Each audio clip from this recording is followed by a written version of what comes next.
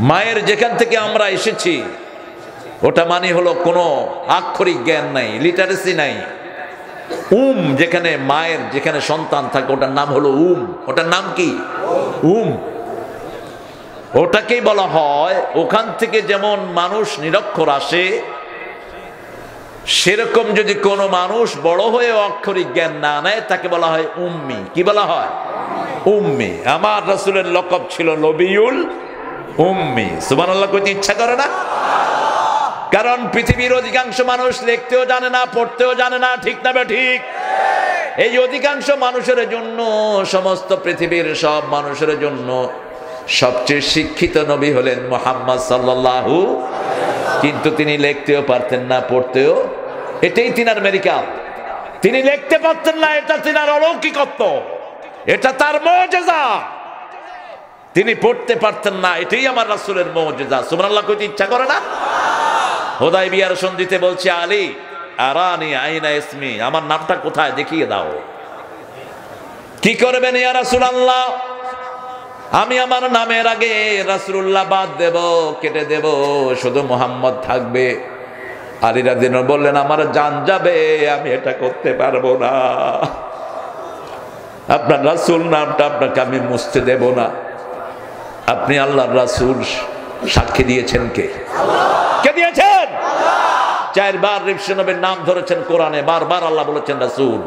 মা মুহাম্মদ ইল্লা রাসূল। মা কানা মুহাম্মাদুন আবা হামিদ মির রিজালিকুম ওয়ালাকিন মুহাম্মাদুর রাসূলুল্লাহ আল্লাযীনা মাহু।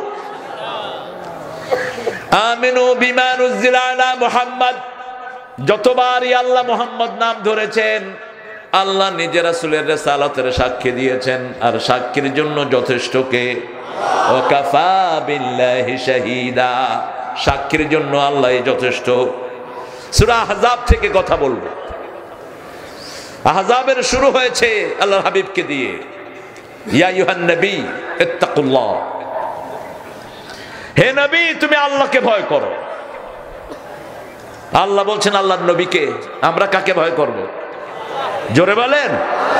আল্লাহকে যদি কেউ ভয় করে, দুনিয়ার কোন ছাইপাশকে ভয় করতে হয় না। আল্লাহকে যদি কেউ সেজদা করে, দুনিয়ার কাউকে সেজদা করতে হয় না। আল্লাহকে যদি কেউ বড় মনে করে, দুনিয়ার কাউকে ব্যথার উপর বসাতে হয় না। এক সেজদা দিয়ে আমরা কত সেজদার হাত থেকে বেঁচে গেলাম। এক আল্লাহকে সেজদা দিয়ে দেখে কোন জিনিস আমাদের দেবতা হতে পারে না। আর যারা এক আল্লাহকে সেজদা দেয় না, লক্ষ জিনিসের সামনে মাথা ঠোকাতে হয়। সুরা হাজাব একটা অলৌকিক সুরা, সবগুলো অলৌকিক।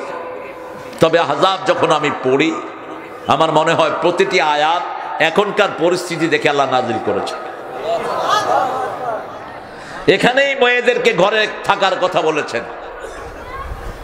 এখানেই পর্দার চমৎকার আয়াতগুলো আল্লাহ নাজিল করেছেন।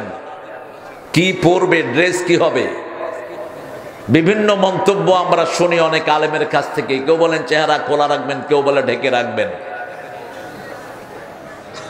কিন্তু রাসুলের যুগে যে পর্দা সাহাবে কেরাম রেজওয়ানুল্লাহ মেনটেন করতেন, ওটা চেহারা ঢাকা ছিল। শুধু বান্দিদের চেহারা খোলা থাকতো। বান্দিদের হাতের কবজা পর্যন্ত খোলা থাকতো।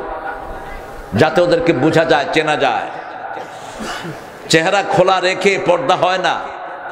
কারণ চেহারা হলো সৌন্দর্যের আসল জায়গা। এই জন্য রাসুল সাল্লামের যুগে যেই পর্দা ছিল, ওটাই মানতে হবে, ওর বাহিরে যাওয়া যাবে না। আটটা গুণের কথা আল্লাহ বলে বললেন, এই গুণগুলো যারা অর্জন করবে, তাদের সবার জীবনের গুণ আল্লাহ মাফ করে দিবেন। তাদেরকে শ্রেষ্ঠ পুরস্কার দিবেন কে?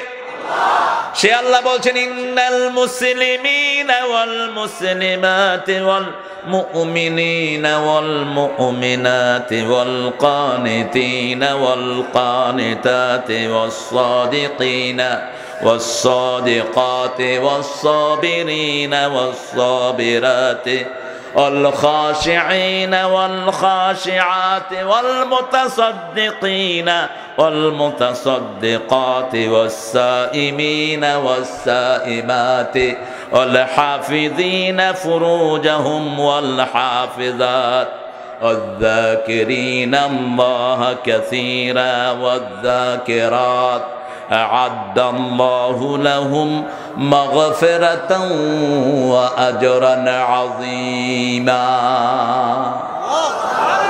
কার কথা মানতে রাজি আছেন তো না মানবেন কেমনে মানাতে হয় একটা ভালো করে জানেন আমার আল্লাহ